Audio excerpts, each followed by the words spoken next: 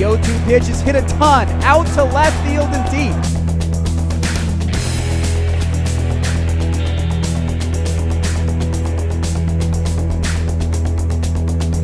comes home. Little blooper out to the right center field gap. Fallon will not get there. Shafts rounding third. He's jogging on home, and David Greer